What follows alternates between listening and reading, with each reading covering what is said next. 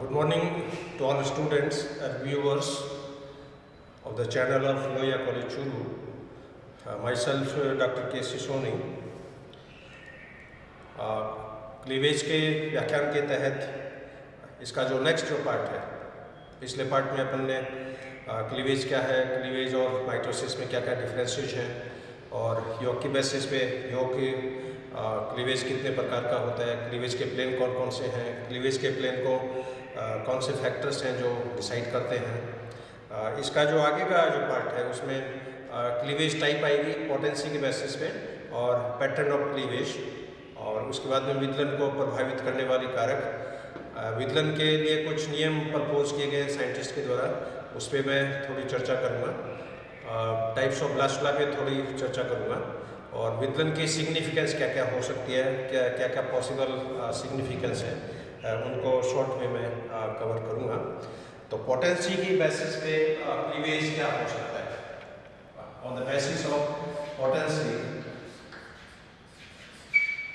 potency की basis पे cleavage दो तरह का है। एक तो डिटर्मिनेट क्लीवेज या निर्धारित विदलन और सेकंड है इनडिटर्मिनेट या रेगुलेटिव क्लीवेज डिटर्मिनेट क्लीवेज जो होता है ये मेनली में पाया जाता है। It is mainly present in nematodes regulative cleavage जो होता है ये अधिकांश वर्टिब्रेट्स में पाया जाता है वर्टिब्रेट्स में जैसे अपने ह्यूमन के केस में मेमल्स के केस में नियामक प्रकार का परिवर्तन होता है अब इसको एक्सप्लेन कैसे करें सपोज़ ये डिटर्मिनेट टाइप का कोई जाइगोट है इधर ये रेगुलेटरी प्रकार का जाइगोट है हमारी दोनों जाइगोट में पहला क्लीवेज हुआ सपोज़ एस्केरिस है एस्केरिस का जाइगोट डिवाइड हुआ और पहले क्लीवेज के बाद में इसमें दो कोशिकाएँ बन गई इसी तरह इधर मान लीजिए ये ह्यूमन का जाइगोट है इसमें पहला क्लीवेज हुआ और पहला क्लीवेज होने के बाद में इसमें दो कोशिकाएँ बन गई अब इस निमेटॉड में एक सिचुएशन तो ये हो सकती है कि इसकी एक कोशिका को गर्म नीडल के द्वारा गर्म कर दे और नीडल के द्वारा इसके न्यूक्लियस को डैमेज कर दे अब इसमें दो कोशिकाएँ हैं एक कोशिका का केंद्र डैमेज हो गया तो ये सेल अपने आप में मृत हो गई है अब इसमें जो बची एक जो कोशिका है उससे एबनॉर्मल एम्ब्रियो की फॉर्मेशन होती है प्रॉपर एम्ब्रियो की फॉर्मेशन इसमें नहीं होती है यानी विकृत प्रकार के भ्रूण का इसमें संश्लेषण होता है या इन दोनों सेल्स को यदि सेपरेट कर दें, पहला क्लीवेज हुआ और विदलन होने के बाद में इन दोनों सेल्स को यदि सेपरेट कर दें तो इन दोनों ही कोशिकाओं से एबनॉर्मल प्रकार के एम्ब्रियो की फॉर्मेशन होती है। दोनों ही कोशिकाओं से असामान्य प्रकार के भ्रूण का इसमें निर्माण होता है। उसका मेन कारण क्या है कि यहाँ पर कोशिकाओं का भविष्य पहले से डिसाइड हो गया fate of cell is always in already determined कि कौन सी सेल आगे चलकर किस ऑर्गेन्स का निर्माण करेगी। लेकिन दूसरी तरफ़ नियामक टाइप के जो अंडे हैं, अब नियामक अंडे में सपोज़ एक सेल को आपने डैमेज कर दिया, एक सेल के न्यूक्लियस को डैमेज कर दिया, या गर्म सुई चुभ के इसके केंद्र को डैमेज कर दिया तो बाकी बची जो एक कोशिका है, ये अपने आप में डाइकोट का काम करेगी। और इस एक सिंगल सेल से, बची हुई एक कोशिका से इसके अंदर नॉर्मल बेबी की फॉर्मेशन होती है और बनने वाले बच्चे में कोई माल फॉर्मेशन नहीं होती है, किसी प्रकार की इसमें विकृति नहीं होती है। अब मान लो, इसी ह्यूमन जाइगोट को पहला क्लीवेज हुआ और पहला क्लीवेज होने के बाद में दोनों सेल्स को आप सेपरेट कर। दो सपोज़ पहला क्लीवेज हुआ और पहला क्लीवेज होने के बाद में दोनों सेल्स को यदि सेपरेट कर दे तो ये दोनों कोशिकाएँ जुड़ों बच्चों के अंदर डेवलप हो जाती है। डेवलप इनटू आइडेंटिकल ट्विंस इसी तरह इसके अंदर सेकेंड क्लीवेज हुआ, चार सेल्स बनी चारों सेल को यदि सेपरेट कर दें तो इसे चार जुड़ों बच्चे पैदा हो सकते हैं। इसमें थर्ड क्लीवेज हुआ। थर्ड क्लीवेज में आठ सेल बनी। आठों कोशिकाओं को यदि सेपरेट कर दें तो इसमें आठ जुड़ों बच्चे पैदा हो सकते हैं। चौथा क्लीवेज इसमें हुआ और अपन सोलह सेल में यदि सभी को सेपरेट कर दें तो सोलह जुड़ों बच्चे पैदा हो सकते हैं। और मनुष्य में टोटीपोटेंसी की जो घटना है, वो चार क्लीवेज तक पाई जाती है। चार क्लीवेज के बाद में टोटीपोटेंसी समाप्त हो जाती है। उसके बाद में कोशिकाओं का भविष्य डिसाइड होने लग जाता है। हर सेल का फैट डिटरमाइंड होने लग जाता है। और चार क्लीवेज के बाद में यदि सेल सेपरेट हो गई या किसी भी सेल को आपने डैमेज कर दिया तो उससे बनने वाले बच्चे के अंदर फिर विकृति पैदा होती है। तो जिन अंडों में फैट पहले से डिसाइड है, वो डिटर्मिनेट टाइप के अंडे कहलाते हैं और इस तरह का विद्वन जो होता है, वो डिटर्मिनेट या निर्धारित प्रकार का विद्वन कहलाता है। इस प्रकार का विद्वन निमेटॉड्स में पर्टिकुलरली जो एस्केरिस है सी एलिगल्स है, उसके अंदर ये पाया जाता है। और नियामक अंडों के अंदर सेल के अंदर टोटिपोटेंसी है पहले क्लीवेज के बाद में भी टोटिपोटेंसी है और चार क्लीवेज तक इसमें टोटिपोटेंसी होती है। चार क्लीवेज तक सेल सेपरेट हो जाए नो प्रॉब्लम आधी सेल यदि डैमेज भी हो जाए नो प्रॉब्लम बच्चे बची कोशिकाएँ नॉर्मल एम्ब्रियो की फॉर्मेशन करती है। तो पोटेंसी के बेसिस पे विद्युलन दो प्रकार का होता है। एक तो डिटर्मिनेट या निर्धारित विद्युलन दूसरा रेगुलेटिव या नियामक प्रकार का अब इसका जो नेक्स्ट पार्ट है वो है that is pattern of creation जो जितने भी एनिमल किंगडम के एनिमल्स हैं, सब में विजुअल का प्रतिरूप जो होता है, वो अलग अलग प्रकार का देखने को मिलता है। और ये भी एक बहुत इंटरेस्टिंग एस्पेक्ट है। पैटर्न ऑफ़ क्लीवेज या विद्युलन के प्रतिरूप।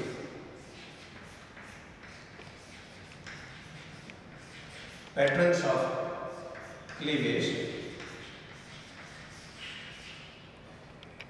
विधन के प्रतिरूप विधन के जो प्रतिरूप है, ये मुख्यतः सिमेट्री पे बेस्ड होते हैं। एम्ब्रियो के अंदर किस तरह की संहिता बनती है, किस तरह की सिमेट्री बनती है उसकी बेसिस पे इनका क्लासिफिकेशन किया गया है। तो मेनली एनिमल्स के अंदर चार तरह का पैटर्न देखने को मिलता है। फ़र्स्ट इज़ रेडियल क्लीवेज या अरिय विंदन Uh, second is spiral cleavage. या कुंडलित प्रकार का विघटन. थर्ड इज़ बाइलेटरल क्लीवेज या द्विपार्श्व प्रकार का विघटन. फोर्थ इज़ रोटेशनल क्लीवेज या घूर्णित प्रकार का हाँ, इन सभी में मैं थोड़ी थोड़ी चर्चा करूँगा। रेडियल क्लीवेज जो होता है ये मेरी जैसे सी कुकम्बर में मिलता है। सी अर्चिन में मिलता है। स्पाइरल क्लीवेज मोलस्का में पाया जाता है। विशेषकर गैस्ट्रोपोड्स में। बायोलेट्रल क्लीवेज जो होता है, ये ट्यूनिकेट्स में पाया जाता है। जैसे हडमानिया है रोटेशनल क्लीवेज होता है, ये मैमल्स में पाया जाता है। अब ये वितरण का पैटर्न कैसे होता है इन सभी मैं एक एक करके डिस्कस करूँगा। तो सबसे पहले जैसे रेडियल क्लीवेज रेडियल क्लीवेज का पैटर्न जैसे कैसे होगा सपोज़ ये सी कुकम्बर का जाइगोट इस जाइगोट में पहला क्लीवेज मीडियोनल है. First cleavage is meridional second cleavage meridional होता है, लेकिन फ़र्स्ट क्लीवेज का परपेंडिकुलर होता है. This is first cleavage this is second cleavage तीसरा क्लीवेज यहाँ पर इक्वेटोरियल पर क्या करता है? This is first cleavage this is second cleavage this is third cleavage चौथा क्लीवेज यहाँ पर फिर मीडियोरल है। आकार का है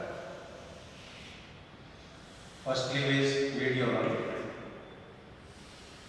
second cleavage meridional and perpendicular to first cleavage third cleavage equatorial fourth cleavage medial है और सिंक्रोनस प्रकार है पांचवा क्लीवेज यहाँ पर फिर लैटिट्यूडिनल टाइप का है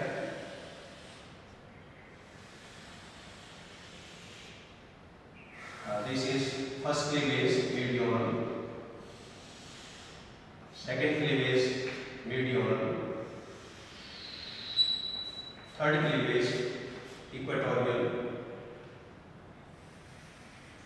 fourth cleavage medial है और सिंक्रोनस है फिफ्थ क्लीवेज लैटिट्यूडनल है और सिंक्रोनस है इसकी एक काट एनिमल पोल की तरफ़ होगी एक काट वेस्टर्न पोल की तरफ़ होगी। अब इस मॉडुलर स्टेज में आप देख रहे हो, इसमें बत्तीस क्वेश्चन हैं टोटल और बत्तीस क्वेश्चन आठ आठ की चार पंक्तियों में प्रोजेक्ट है ये फ़र्स्ट ईयर होगी, प्रथम पंक्ति, ये सेकंड ईयर ये थर्ड ईयर ये फोर्थ ईयर और प्रत्येक पंक्ति में आठ आठ क्वेश्चन हैं। One two three four five six seven eight है अब यहाँ पर आप देखें ऊपर वाली जो कोष्ठा है, वो नीचे वाली कोष्ठा के ऊपर है। ये कोष्ठा इस कोष्ठा के ऊपर है, ये कोष्ठा इस कोष्ठा के ऊपर है। जिस तरह सिक्के के ऊपर सिक्का जैसे अपन रखते हैं, उसी तरह एक कोष्ठा के ऊपर दूसरी कोष्ठा इसके अलावा दो कोष्ठाओं के बीच की जो खांच है, फर्रो, खांच के ऊपर खांच है। जैसे तीन और चार नंबर के बीच की कोष्ठा है खांच, इन दो कोष्ठाओं के बीच की खांच के ऊपर है। तो सेल के ऊपर, सेल उपस्थित है, खांच के ऊपर खांच उपस्थित है। अब इस एम्ब्रियो को आप ऊपर से कहीं से भी देख लो किसी भी डायरेक्शन से इसके अंदर आपको रेडियल सिमेट्री हरीय संहिता जो होती है वो दिखाई देती है। और रेडियल सिमेट्री जब भी होती है तो स्पेरिकल संरचना होती है गोल गेंद के समान संरचना होती है। तो सिमेट्रिक बेसिस पे ये आ, पहला प्रतिरूप है दैट इज़ रेडियल और ये क्लीवेज सी को कोकम्बर में मिलता है सी आरसीन के अंदर भी मिलता है। एम्फीबियंस में भी पाया जाता है। हाँ, इसका जो सेकंड प्रतिरूप है that is spiral cleavage spiral में नाम से स्पष्ट है कि कुंडलन कॉइलिंग और कॉइलिंग जो होती है मेनली मोलस्का के ब्रांड में विशेषकर मोलस्का की जो गैस्ट्रोपोडा जो क्लास है गैस्ट्रोपोडा की जो प्राणी है जिसमें पाइला होता है शंख जैसे होता है मंदिर में शंख हो जाते हैं उनमें देखा कवच में कुंडलन पाया जाता है इनके बॉडी में कॉइलिंग होती है। तो गैस्ट्रोपोड्स के अंदर स्पाइरल टाइप का क्लीवेज जो होता है ये पाया जाता है। अब स्पाइरल क्लीवेज में अब ये जो स्पाइरल कॉइलिंग है, ये भी क्लॉकवाइज हो सकती है एंटी क्लॉकवाइज हो सकती है। और जनरली जो क्लॉकवाइज कॉइलिंग होती है, वो डोमिनेट प्रकार की होती है। एंटी क्लॉकवाइज कॉइलिंग जो होती है, वो रिसेसिव प्रकार की होती है। लेकिन यहाँ पर क्या होगा कि डोमिनेंसी एक कोई डिसाइडिंग फैक्टर्स नहीं है। इसमें फीमेल का जो साइटोप्लाज्म होता है, फीमेल ओम का जो साइटोप्लाज्म होता है, वो साइटोप्लाज्म भी इस पैटर्न को है कंट्रोल करता है। और इस तरह का जो पैटर्न होता है, ये साइटोप्लाज्मिक इनहेरिटेंस के नाम से भी जानी जाती है। तो यहाँ पर जीन का कोई विशेष रोल नहीं है। जीन का रोल तो है जीन के अलावा इसमें फीमेल का जो साइटोप्लाज्म है, का वो भी विद्युन प्रतिरूप को कॉइलिंग पैटर्न को यहाँ पर डिसाइड करता है। इन दोनों को मैं डिस्कस करूँगा। सपोज़ ये गैस्ट्रोफोन का जाएगा? अब स्पाइरल पैटर्न में क्या होगा? बाकी के जितने भी एनिमल्स देखे उसके अंदर स्पिंडल की पोर्शन ये होती है लेकिन यहाँ पर क्या होगा? स्पिंडल जो होता है, वो तिरछा होता है। और एनिमल्स में बाकी एनिमल्स में स्पिंडल ये लंबवत डिवीज़न होता है। यहाँ पर भी डिवीज़न इसके लंबवत ही होगा। लेकिन यहाँ पर स्पिंडल की जो पोर्शन है, वो या तो 45 डिग्री की होगी या 135 डिग्री पे होगी। तो जाइगोट में स्पिंडल 45 डिग्री के डायरेक्शन पे है या 135 डिग्री के डायरेक्शन पे है। उसी के अकॉर्डिंग इसमें डिसीज़न हो जाता है कि क्लीवेज क्लॉकवाइज होगा या एंटी क्लॉकवाइज होगा। तो इसके अंदर ये फ़र्स्ट क्लीवेज इसी का मान लीजिए दूसरा डायग्राम है। इसके अंदर फ़र्स्ट में इस इसी देखा होगा। सेकेंड क्लीवेज ये वाली फ़र्स्ट क्लीवेज है। तो सेकेंड क्लीवेज भी मीडियोनल होगा लेकिन फ़र्स्ट का परपेंडिकुलर होगा यहाँ ये सेकेंड क्लीवेज ये वाली फ़र्स्ट क्लीवेज है ये सेकेंड क्लीवेज है अब इसमें जो थर्ड क्लीवेज होगा वो लैटिट्यूडनल प्रकार का है या हॉरिजॉन्टल प्रकार का है लेकिन इसमें क्या होगा कि सेल के ऊपर सेल नहीं होगी खांच के ऊपर खांच नहीं होगी। क्योंकि हर क्लीवेज के बाद में सेल इसके अंदर रोटेट करती है। सपोज़ मान लो इसकी स्थिति ये है। वाली एनिमल पोल की सेल्स है तो वेस्टर्न पोल की सेल की स्थिति इस तरह है। अब आप देख हो प्रथम पंक्ति की जो खांच है, दो तो कोष्ठों के बीच की खांच है, नीचे वाली की इससे खांच अलग तरह की है। हाँ, इससे के अंदर सिचुएशन ये होगी।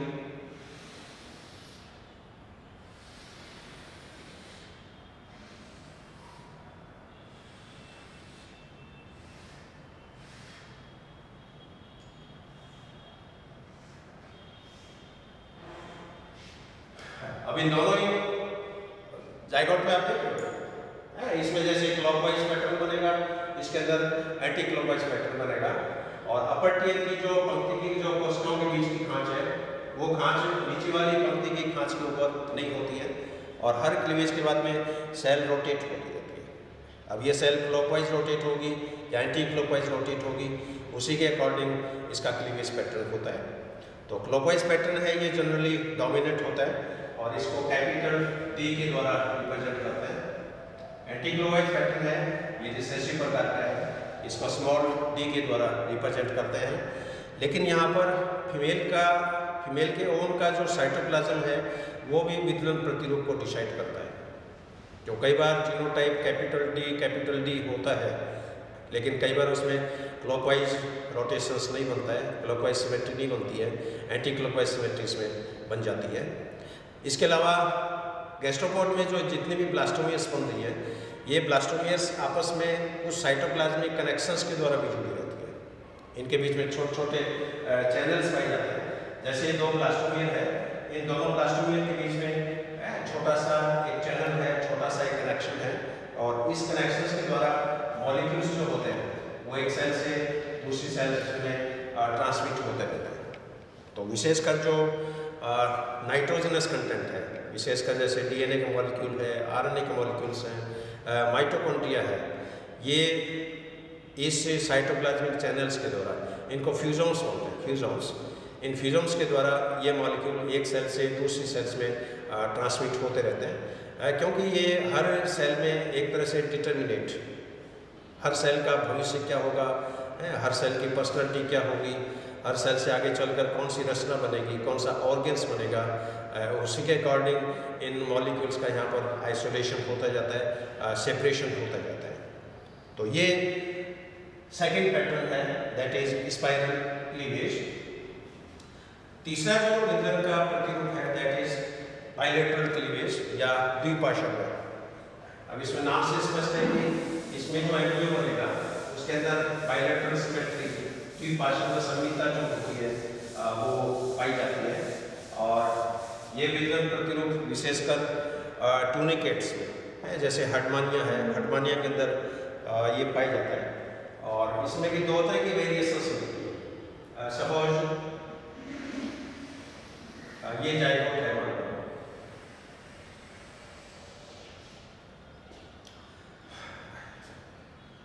इस में पहला क्लीवेज हुआ मीडियम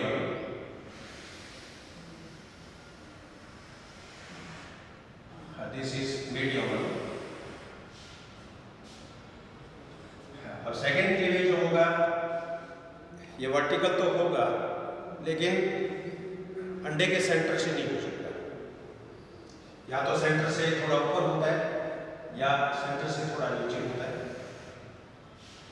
तो फ़र्स्ट क्लीवेज मीडियोनल है सेकेंड क्लीवेज वर्टिकल टाइप का है लॉन्गिट्यूडनल टाइप का है और फ़र्स्ट क्लीवेज का परपेंडिकुलर है, लेकिन सेकेंड क्लीवेज अंडे के सेंटर से नहीं गुजर रहा है अब इसमें आप देख रहे हो, ऊपर वाली जो सेल्स है, ये बड़े आकार की होगी। नीचे वाली जो सेल्स है, ये छोटे आकार की होगी।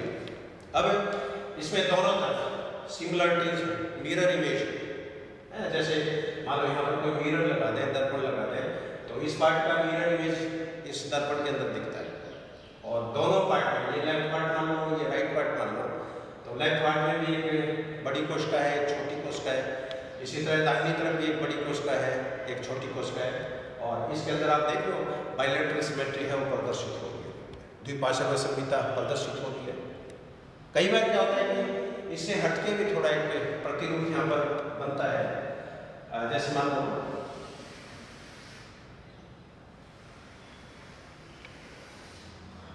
पहला क्लीवेज हुआ मीडियोनल। सेकेंड क्लीवेज भी मीडियोनल है और फ़र्स्ट का परपेंडिकुलर है। लेकिन इस एम्ब्रियो क्या होता है कि एक सेल का आकार थोड़ा बड़ा हो जाता है। चार सेल में चार में तीन सेल्स का आकार एक समान है, लेकिन एक सेल की जो साइज़ है, वो अपेक्षाकृत थोड़ी बड़ी हो जाती है। और इससे बड़ी आकार की कोशिका को डी सेल के नाम से जाना जाता है। It is called as D cell अब, इस एम्ब्रियो में आप देख लो। बायोलेट्रल सिमेट्री है, वो प्रदर्शित हो रही है मान लो इससे एम्ब्रियो को आप यहाँ से काट लो स्टेज को आप यहाँ से काट लो तो काटने बाद में जो दोनों जो हाफ़ पार्ट बन रहे ये हाफ़ पार्ट ये हाफ़ पार्ट दोनों हाफ़ पार्ट में डी सेल का आधा आधा हिस्सा बट रहा है इक्वली और ट्यूनिकेट्स के अंदर दो तरह का पैटर्न मिलता है। उसमें भी द्विपार्श्व संहिता प्रदर्शित हो रही है। इसके अंदर भी बायोलेट्रल सिमेट्री प्रदर्शित हो रही है। इसलिए विलगन का ये प्रतिरूप बायोलेट्रल क्लीवेज के नाम से जाना जाता है। चौथा जो पैटर्न है रोटेशनल क्लीवेज हाँ ये बहुत ही इंटरेस्टिंग है और विशेषकर मैमल्स में यूथीरियन जो मैमल्स है, उसके अंदर ये पैटर्न पाया और रोटेशन का आता है, बारी बारी। जिस तरह वॉलीबॉल का जो गेम होता है, उसमें छः प्लेयर होते हैं, वो रोटेशन से तो हर प्लेयर वॉलीबॉल में जैसे, है सर्विस भी करेगा, हर स्मैशिंग करेगा, है, हर फाइट भी करेगा। तो रोटेशन से बारी बारी, हर जो खिलाड़ी है वो, है, उसका सर्विस करने का नंबर आता रहता है। इसमें सपोज़ ये मैमल्स का चाहिए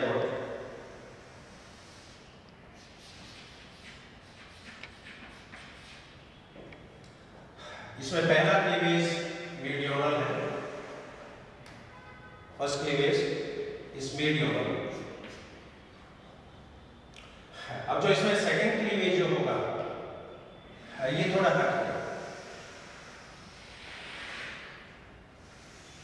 हट दिस इज़ फ़र्स्ट क्लीवेज अब इसमें सेकंड क्लीवेज जो है, वो एक साइड के अंदर तो मीडियोनल टाइप का है लेकिन इधर वाली जो सेल्स है इसके अंदर ये इक्वेटोरियल टाइप का है।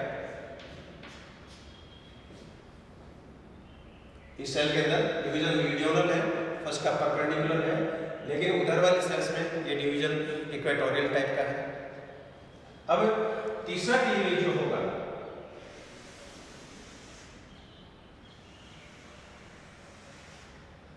this is first cleavage second cleavage इस सेल में मीडियोनल टाइप का है? इस सेल के अंदर? ये इक्वेटोरियल टाइप का है। अब थर्ड क्लीवेज जो होगा, वो इस सेल में तो होगा इक्वेटोरियल टाइप का। और इस सेल के अंदर ये होगा मीडियोनल टाइप तो बारी बारी आप देखो, इसमें रोटेशन से है, जैसे पहले इस क्लीवेज के अंदर रेडियोनल क्लीवेज हुआ नेक्स्ट राउंड में इस क्लीवेज के अंदर इक्वेटोरियल क्लीवेज होगा। इधर वाले सेल्स में पहले इक्वेटोरियल क्लीवेज है तो नेक्स्ट सेल के अंदर इसमें मीडियोनल क्लीवेज होगा। तो बारी बारी हर सेल्स में विदलन का जो पैटर्न है विदलन का जो प्लेन है, है वो रोटेशन से यहाँ पर अपने आप ऑटोमेटिकली ऑपरेट होता रहता है। अब दिखने में ये स्टेज वैसी है क्योंकि लास्ट में खांस से खांस ये खांस इस खांस से मिल गई ये खांस इस खांस से मिल गई लेकिन ये नेक्स्ट क्लीवेज होने के बाद में नेक्स्ट जो डिवीज़न है वो सक्सेसफुल ऑपरेट होने के बाद में ये पॉसिबिलिटी बनती है। तो रोटेशन होता है। क्लीवेज के प्लेन का रोटेशन होता है। इसलिए इस विज्ञान को रोटेशनल क्लीवेज के नाम से जाना जाता है। तो प्राणियों के अंदर चार विज्ञान प्रतिरूप जो है वो पाए जाता है। Radial cleavage spiral cleavage bilateral cleavage और रोटेशनल क्लीवेज अब क्वेश्चन है कि इस क्लीवेज पैटर्न को डिसाइड कौन करता है?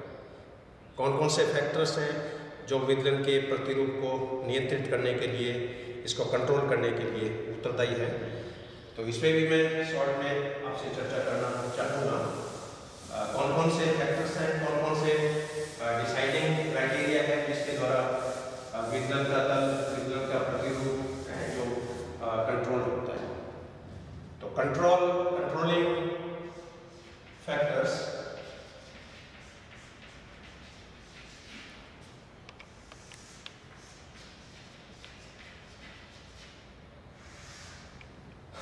अब इसमें, वैसे तो इसमें कई कारक हैं, लेकिन जो मुख्य कारक है, वो मैं आपसे शेयर करना चाहूँगा।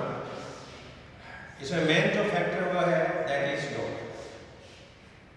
अंडे में योग की मात्रा कैसी है योग का डिस्ट्रीब्यूशन कैसा है योग की लोकेशन कैसी है उसकी बेसिस पे क्लीवेज का पैटर्न जो होता है वो कंट्रोल होता है। सेकेंड uh, फैक्टर इसमें होता है mitotic spindle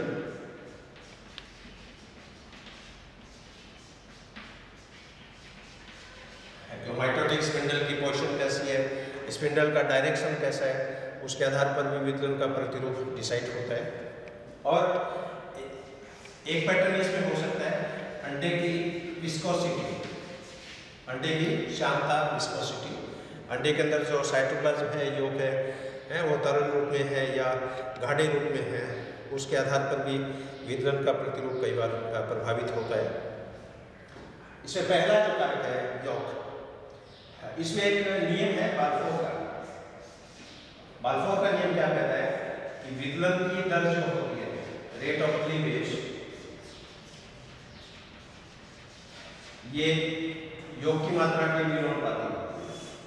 Rate of cleavage is it must be proportional to amount of अब कुछ अंडे ऐसे हैं जिसके अंदर साइटोप्लाज्म बहुत ज़्यादा है, योग बहुत कम होता है। जैसे एम्फियोक्सस के अंडे, इसके अंदर साइटोप्लाज्म बहुत कम है। पूरे अंडे के अंदर साइटोप्लाज्म भरा हुआ है, योग बिल्कुल भी नहीं है। मेडक के अंडे जो होते हैं, उसमें एनिमल पोल पे साइटोप्लाज्म है, लेकिन वेस्टल पोल पे योग भरा रहता है। मुर्गी के जो अंडे होते हैं, इसमें 95 परसेंट योग है 5 परसेंट साइटोप्लाज्म है। और योग जहाँ भी होगा, वहाँ पर विदलन की क्रिया मंदी हो जाती है स्लो हो जाती है। जैसे मेंढक के अंडे में आपने देखा जैसे मेंढक काटता है, सब और इस मेंढक के अंडे में पूरा जो वेस्टर्न कोर होता है, वो योग से भरा रहता है। योग से भरा रहता है तो इसके अंदर एनिमल कोर पे तो डिवीज़न हो जाएगा, बहुत रैपिडली लेकिन वेस्टर्न कोर पे डिवीज़न जो होता है, बहुत स्लो होता है। तो विदलन की दर साइटोप्लाज्म की मात्रा के समानुपाती होती है, लेकिन योग की मात्रा के विरोधपाती होती है। इसलिए योग का डिस्ट्रीब्यूशन कैसा है, योग की अमाउंट कैसी है, ये एक बहुत मेजर डिसाइडिंग फैक्टर है क्लीवेज के पैटर्न के लिए क्लीवेज के लिए सेकेंड एस्पेक्ट माइटोटिक हाँ ये मैं पहले बता चुका हूँ कि विदलन का तल जो होता है, वो स्पिंडल के हमेशा लंबवत होता है। सपोज़ ये स्पिंडल है तो पहला क्लीवेज इसके लंबवत होगा। अब पहले क्लीवेज के बाद में स्पिंडल यूँ रोटेट हो गया तो विदलन का प्रतिरूप यूँ होगा। सेकेंड क्लीवेज के बाद में स्पिंडल मान लीजिए यूँ हो गया तो विदलन का प्रतिरूप यूँ होगा। तो हर डिवीज़न के बाद में स्पिंडल जो होता है, वो 90 डिग्री से रोटेट करता रहता है। पहले क्लीवेज से पहले स्पिंडल यूँ है? सेकंड क्लीवेज में स्पिंडल यूँ है? थर्ड क्लीवेज में स्पिंडल यूँ है? चौथे क्लीवेज में स्पिंडल यूँ है? पाँचवें क्लीवेज में स्पिंडल यूँ है? छठे क्लीवेज में स्पिंडल यूँ है? और यहाँ पर आप देखें तो हर क्लीवेज के बाद में स्पिंडल 90 डिग्री से रोटेट होता है। जिन प्राणियों में स्पाइरल क्लीवेज होगा उनके अंदर स्पिंडल या तो 45 डिग्री के एंगल पे होगा या 135 डिग्री के एंगल पे होगा। और जब ये तिरछे रूप से स्पिंडल अरेंज है तो इसके अंदर विदलन भी तिरछा होता है। इसलिए अभी जैसे अपने स्पाइरल क्लीवेज मैंने आपको बताया स्पाइरल क्लीवेज का जो पैटर्न है, वो ऑब्लिक डिवीज़न है। और जब भी ऑब्लिक डिवीज़न होता है तो दो कोशिकाओं के बीच में सरफेस एरिया बहुत ज़्यादा होता है। सपोज़ जैसे ये रूम है, मान लो, इसको आप एक जायकॉट मान लो अब इस रूम के अंदर आप बीचों बीच दीवार खींचो और एक इस रूम में उस कॉर्नर से इस कॉर्नर तक दीवार बनाओ। तो आप देखोगे कि जो डायगोनली जो दीवार बन रही है, एक कॉर्नर से दूसरे कॉर्नर तक उस दीवार के अंदर ईंटें ज़्यादा लगती हैं। लेकिन आप बीच में एकदम सीधी दीवार बना रहे हो तो उसके अंदर ईंटें कम लगती है। इसका मतलब ऑब्लिक जो वाल बन रही है, उसकी सरफेस एरिया ज़्यादा है। ये जो दीवार बन रही है, इसमें सरफेस एरिया कम है। इसलिए जितने भी गैस्ट्रोपोर्ट्स हैं उन कोशिकाओं के बीच में संपर्क स्थल बहुत ज़्यादा होता है। सरफेस एरिया बहुत ज़्यादा होती है। और इसके अलावा इन कोशिकाओं के बीच में छोटे छोटे चैनल्स हैं कनेक्शंस हैं। उन कनेक्शंस के द्वारा एक कोशिका का साइटोप्लाज्म दूसरी कोशिका के साइटोप्लाज्म से कम्युनिकेट होता रहता है। क्योंकि यहाँ पर हर सेल को भविष्य है, वो डिसाइड होना है कि आगे चलकर कौन सी रचना बनेगी, कौन सा ऑर्गेन बनेगा। उसी के अकॉर्डिंग सेल के मॉलिक्यूल्स सेल के ऑर्गेनल्स सेल के राइबोसोम सेल का डीएनए आरएनए एक सेल से दूसरी सेल्स के अंदर प्रवाहित होता रहता है। तो योग के साथ साथ स्पिंडल है ये बहुत मेजर डिसाइडिंग फैक्टर्स है। विस्कोसिटी जो है विस्कोसिटी खांच बनाने में रेस्पॉन्सिबल है। विदलन कांच ये ठीक उसी तरह ही है जैसे मान लीजिए किसी प्याले में शहद भरा हुआ हो, जो शहद जनरली है वो गाढ़ा होता है। और इस शहद को जैसे आप फ्रिज के अंदर रखते हो थोड़ी देर, ये शहद और गाढ़ा हो जाएगा। और इस शहद में आप चाकू से जैसे शहद को काटो। तो किस तरह की खांच बनती है, उस तरह की खांच जायगोट के अंदर फ़र्स्ट क्लीवेज के दौरान होती है। तो मेरा जो एम का वर्क है वो मैंडे के ऊपर जैसे हमने किया है। और बाकायदा स्टीरियो माइक्रोस्कोप में मैंने सारी स्टेजेज मेरी आँखों से देखी है। फ़र्स्ट क्लीवेज कैसे होता है सेकंड क्लीवेज कैसे होता है थर्ड क्लीवेज कैसे होता है।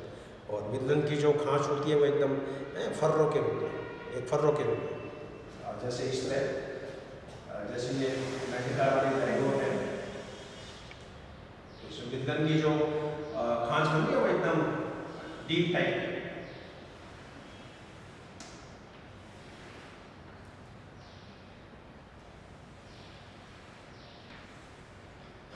इस तरह की जो गहरी जो खांच बन रही है ये योग की विस्कोसिटी पे डिपेंड करती है। इसलिए योग गाढ़ा होना चाहिए, योग विस्कस होना चाहिए।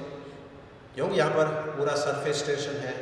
अंडे के एक्टोप्लाज्म में जो माइक्रोफिलामेंट्स हैं इसके अलावा जो टेंसाइल प्रोटीन्स है कॉन्ट्रेक्टाइल प्रोटीन्स हैं वो भी खांच बनाने में महत्वपूर्ण भूमिका अदा करती है। तो ये कुछ कारक हैं जो विघन के प्रतिरूप के लिए उत्तरदायी हैं। अब इसमें दो तीन बातें मैं और डिस्कस करूँगा। एक तो अंडे की जो मेटाबॉलिज्म है, क्योंकि सेल में जब डिवीज़न हो रहा है तो हर सेल को एनर्जी चाहिए। एम्ब्रियो डेवलप हो रहा है तो उसको ऊर्जा चाहिए। अब स्तनधारियों में तो प्लेसेंटा बन जाता है तो मदर के द्वारा डेवलपिंग एम्ब्रियो को पोषण मिलता रहता है। लेकिन जिन प्राणियों में प्लेसेंटा नहीं बनता है, उनमें ऊर्जा का मेन स्रोत अंडे में उपस्थित योग ही होता है। तो कैटाबोलिज्म मेटाबॉलिज्म का जो पार्ट है, ये मैं बहुत ही शॉर्ट में डिस्कस करूँगा। इस मेटाबॉलिक पार्ट को दो भाग में डिवाइड कर सकते हैं। हाँ, एक तो catabolic part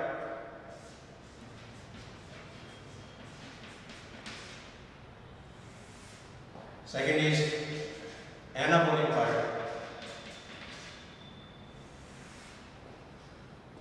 अब कैटाबॉलिज्म में तो क्या होता है कि कॉम्प्लेक्स मॉलिक्यूल्स जो होते हैं जटिल मॉलिक्यूल ये सिंपल मॉलिक्यूल्स में कन्वर्ट हो जाते हैं लेकिन एनाबॉलिज्म में सिंपल मॉलिक्यूल जटिल मॉलिक्यूल्स में कन्वर्ट होते हैं अब अंडे के अंदर कॉम्प्लेक्स मॉलिक्यूल्स जो है ये कॉम्प्लेक्स मॉलिक्यूल कार्बोहाइड्रेट के रूप में हो सकते हैं प्रोटीन के रूप में हो सकते हैं फैट के रूप में हो सकते हैं और कोई मैक्रोमोलिक्यूल्स हो सकते हैं अब जो जो सेल्स में डिवीज़न होता है हर सेल्स को एटीपी चाहिए। तो यहाँ पर अपन देखते हैं कि जो जो एम्ब्रियो की ग्रोथ होती है।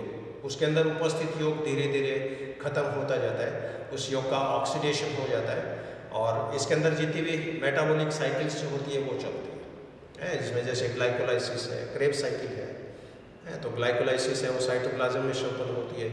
क्रेब साइकिल जो होती है वो माइटकोंडिया में संपन्न होती है। और जब इन संचित भोजन का ऑक्सीकरण होता है तो उसके अंदर एनर्जी निकलती है और ये एनर्जी डेवलपिंग एम्ब्रियो के काम में आती है। इसका जो एनाबॉलिक पार्ट है एनाबॉलिक पार्ट में क्या होगा कि सिंपल मॉलिक्यूल्स जटिल मॉलिक्यूल्स में कन्वर्ट हो जाते हैं और यहाँ पर मेनली तीन मॉलिक्यूल्स यहाँ पर बने हैं। एक तो डीएनए की फॉर्मेशन एक आरएनए की फॉर्मेशन एक प्रोटीन की फॉर्मेशन डीएनए विदलन के हर डिवीज़न में चलेगा जब भी सेल डिवाइड होती है डीएनए डबल होता है एस फ़ेज़ में। और ये मैंने पिछले व्याख्यान में आपको बताया था कि क्लीवेज की जो इंटरफेज होती है, ये स्टार्टिंग में बहुत छोटी है, लेकिन एस फ़ेज़ उसमें पाई जाती है। दस बारह क्लीवेज के बाद में इंटरफेज का ड्यूरेशन बढ़ जाता है और उसमें जी वन एस और जी टू तीनों प्रावस्थाएँ संपन्न हो जाती है। यहाँ पर एस का मतलब सिंथेसिस जी का मतलब ग्रोथ तो डीएनए का संश्लेषण जो है वो विंदन की हर स्टेज में होता है। यहाँ पर डीएनए से डीएनए की फॉर्मेशन होती है और ये घटना डीएनए रेप्लिकेशंस कहलाती है। दस बारह मिलियन के बाद में जब जीवन और जी टू स्टेज जब स्टार्ट हो जाएगी, उस केस में ट्रांसक्रिप्शन के द्वारा डीएनए से तीनों प्रकार के आरएनए बनेंगे डीएनए से एमआरएनए बनता है। डीएनए से ट्रांसफ़र आरएनए बनता है।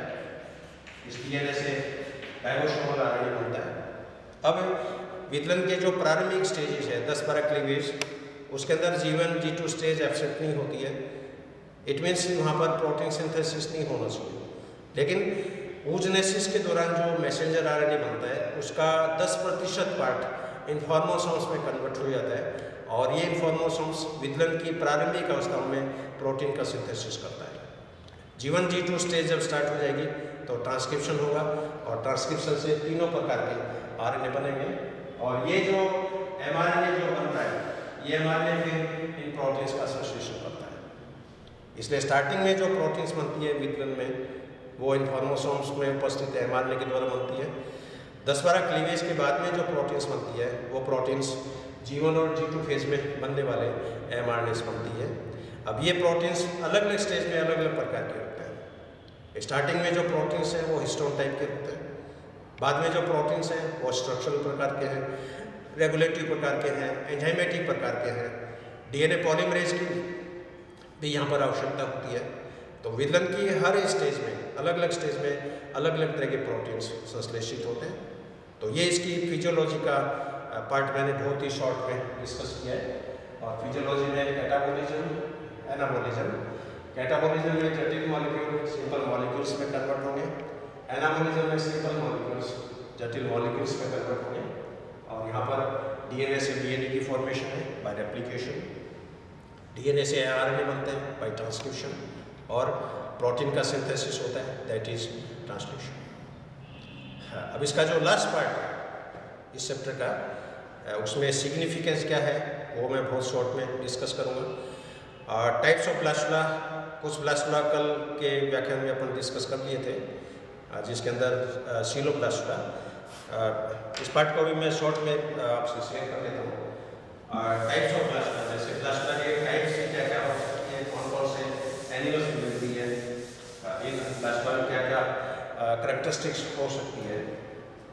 तो टाइप्स ऑफ़ ब्लास्टुला ब्लास्टुला के प्रकार। मेनली छह तरह के ब्लास्टुला एनिमल किंगडम्स में पाई जाते हैं। First is coeloblastula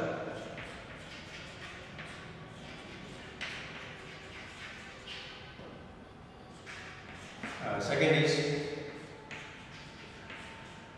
amphiblastula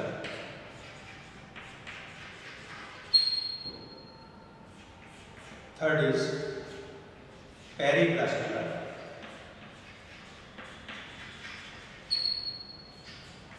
fourth is discoblastula uh, fifth is stereoblastula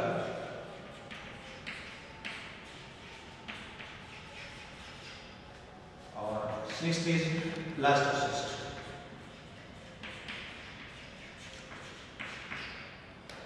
इन सभी को मैं शॉर्ट में एक्सप्लेन कर देता हूँ। सिलोब्लास्टोमा क्या होता है? कंप्लीटली खोखला। खोखली गेंद की तरह, खोखली बॉल की तरह। और इस तरह का जो ब्लास्टोमा होता है, ये एम्फियोक्सिस में पाया जाता है। और इस पूरे ब्लास्टोमा में ब्लास्टोसिल कैविटी होती है। और ये पूरा ब्लास्टोमा एक खोखली गेंद के समान होता है।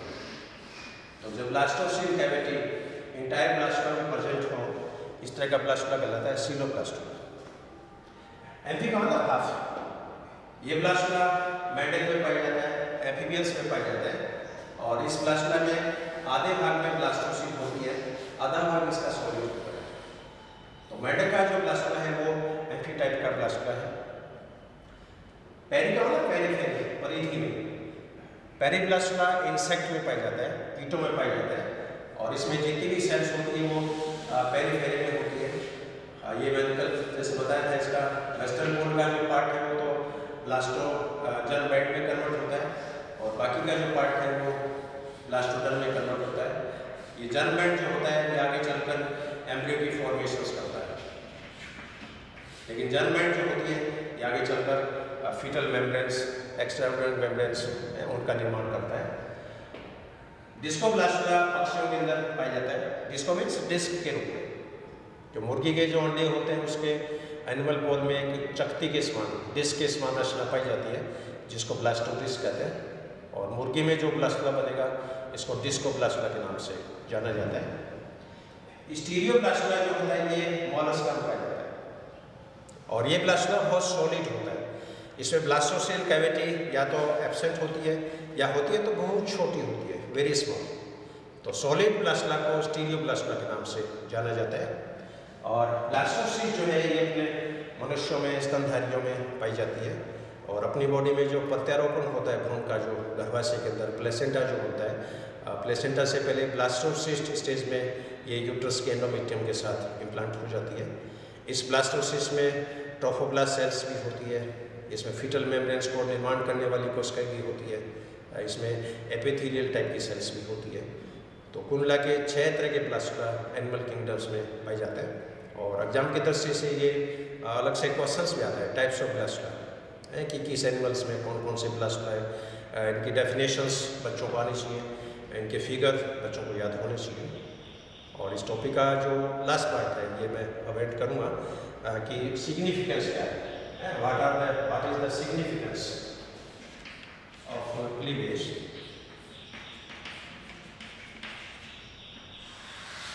क्योंकि एम्ब्रोलॉजी में हर चैप्टर का अपना अपना महत्व है, हर चैप्टर की अपनी अपनी सिग्निफिकेंस है। हाँ ये मैं पॉइंट वाइज ही डिस्कस कर लेता हूँ। विदलन की सबसे पहली जो सिग्निफिकेंस वो तो ये कि अपनी बॉडी मल्टी सेलर है। अपनी बॉडी में खरबों सेल्स है। इसलिए एक फॉर्मूला होता है बॉडी वेट इंटू दस की घात पंद्रह। आपका वज़न मान लीजिए साठ किलो है तो आप में साठ इंटू दस की घात पंद्रह, इतनी कोशिकाएँ आपके शरीर में उपस्थित हैं। और जितनी सेल्स होती हैं, उसकी 50 परसेंट सेल्स आपके खून में पाई जाती है रक्त में। रक्त में जो आर है WBC है प्लेटलेट्स है। तो एक ये सिंपल सा फॉर्मूला है बॉडी वेट इंटू दस की घात पंद्रह। अब मल्टी सेलर एनिमल्स हैं तो इन कोशिकाओं का बनना भी बहुत ज़रूरी है।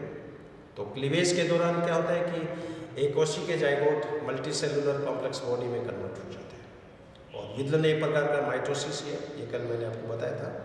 और क्लीवेज माइटोसिस में क्या क्या डिफरेंस है, ये भी मैंने आपसे चर्चा की थी। सेकेंड सिग्निफिकेंस ये है कि क्लीवेज के दौरान ब्लास्टोसिल कैविटी बनती है। एम्ब्रियो का खोखला होना एक है। सॉलिड एम्ब्रियो है, वो इतना पर्पजफुल नहीं होता है। क्योंकि अपने बॉडी में, अपने बॉडी में भी थ्रोट है, अपने बॉडी में भी कैविटी है। आपकी छाती में थोरेसिक कैविटी है, आपके डायफ्राम के नीचे एब्डोमिनल कैविटी है आपके नाभि के नीचे पेल्विक कैविटी है, आपका पूरा ब्रेन भी खोखला है ब्रेन के अंदर क्रेनियल कैविटी है, आपकी आँखें खोखली हैं, इसके अंदर ये T C F transcellular fluid जो होता है वो भरा रहता है, आपके कान भी खोखले हैं, कान के अंदर भी पेरिनियम भरा हुआ है एंडोली भरा हुआ है। अब प्लास्टोसिल कैविटी जब बनेगी तो गैसलेशन के दौरान सेल मूवमेंट करके अंदर जाती है, क्योंकि अलग अलग तरह की फॉर्मेटिव मूवमेंट होती है स्किन का निर्माण करने वाली सेल हमेशा बाहर रहनी चाहिए। आहरनाल का निर्माण करने वाली सेल्स हमेशा अंदर रहनी चाहिए। मांसपेशियों और हड्डियों का निर्माण करने वाली सेल्स हमेशा एक्टोडर्म और बीजोडर्म के बीच, एंडोडर्म के बीच में रहनी चाहिए। तो क्लीवेज के दौरान ब्लास्टोसिल कैविटी जो होती है, ये बनती है और इसका बनना बहुत ज़रूरी है। अदरवाइज़ ये गैस्ट्रेशन की मूवमेंट है वो संपादित नहीं होती है। इसके अलावा जो जो डिवीज़न होगा, हर सेल्स का साइटोप्लाज्म चेंज होता रहता है।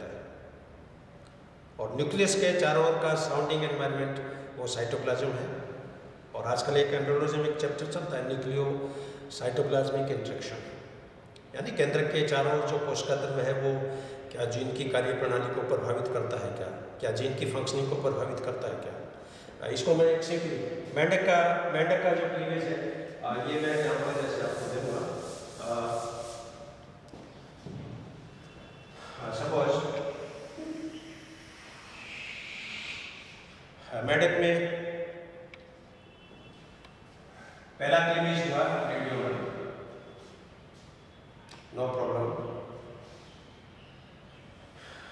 second cleavage हुआ रेडियोल नो प्रॉब्लम अब तीसरा क्लीवेज यहाँ पर लैटिट्यूडनल टाइप का हो। और एनिमल पॉल में जो सेल्स बन रही है, ये आकार में छोटी है। इसको माइक्रोमियर्स के नाम से जाना जाएगा। और वेस्टर्न बॉल में जो सेल्स है आकार में बड़ी है, इनको मेगामियर के नाम से जाना जाएगा। अब इन सभी सेल्स में केंद्र की एक जैसा है। सभी सेल्स में गुणसूत्र एक जैसे हैं। सभी सेल्स में डीएनए एक जैसे है। लेकिन इनका जो सराउंडिंग एनवायरनमेंट है, वो यहाँ पर चेंज हो गया है। अब आप देख रहे हो एनिमल पॉल में जो सेल्स है, इन सेल्स के चारों साइटोप्लाज्म है यानी एनिमल पॉल की सेल में जो केंद्रक है उस केंद्र के चारों ओर साइटोप्लाज्म है, जो की मात्रा बहुत कम है। जबकि वेस्टर्न पॉल की जो सेल्स है, इसमें जो केंद्रक है, इसके चारों ओर बहुत फ़र्क है अब सेम टाइपोट था सेम सेल्स थी, लेकिन थर्ड क्लीवेज में आप देख रहे हो थर्ड क्लीवेज के बाद में यहाँ पर nucleus is surrounded by cytoplasm यहाँ पर न्यूक्लियस इज़ सराउंडेड बाय योग जबकि दोनों में केंद्रक सेम है, दोनों में क्रोमोसोम सेम है, दोनों में डीएनए सेम है। दोनों में जीन सेम है। लेकिन यहाँ पर जीन्स के चारों ओर का एनवायरनमेंट कोशिका द्रव्य के रूप में है। यहाँ पर जीन के चारों ओर का एनवायरनमेंट योग के रूप में है। अब यहाँ पर अलग अलग तरह के इंट्रैक्शन होते हैं यहाँ पर अलग तरह का न्यूक्लियोसाइटोप्लाज्मिक इंट्रैक्शन होगा। यहाँ पर अलग तरह का न्यूक्लियोसाइटोप्लाज्मिक इंट्रैक्शन होगा। और इसमें और भी यदि डिटेल में जाए यहाँ पर तो हो सकता है कि ऊपर वाली सेल्स में माइटोकॉन्ड्रिया कम हो, यहाँ पर माइटोकॉन्ड्रिया ज़्यादा हो। ये भी हो सकता है कि इन सेल्स में राइबोसोम ज़्यादा हो, इन सेल्स में राइबोसोम्स कम हो। हो सकता है ये सेल मेटाबॉलिकली एक्टिव ज़्यादा हो, ये सेल मेटाबॉलिकली एक्टिव कम हो। तो जो जो डिवीज़न होगा, हर सेल्स का डिटर्मिनेशंस होता जाता है, हर सेल का भविष्य बनता जाता है, क्योंकि आगे चलकर अपनी बॉडी में लाखों तरह की सेल्स हैं। कि रेटिना बननी है तो कौन सी सेल चाहिए? आरबीसी बननी है तो कौन सी सेल चाहिए? स्किन के एपिडर्मिस बननी है तो कौन सी सेल चाहिए? हड्डियों की फॉर्मेशन करनी है तो कौन सी सेल चाहिए? तो जो जो विदलन चलता रहेगा कोशिकाओं के अंदर डिफ्रेंशिएशन होता रहता है कोशिकाओं में डिटर्मिनेशन होता रहता है।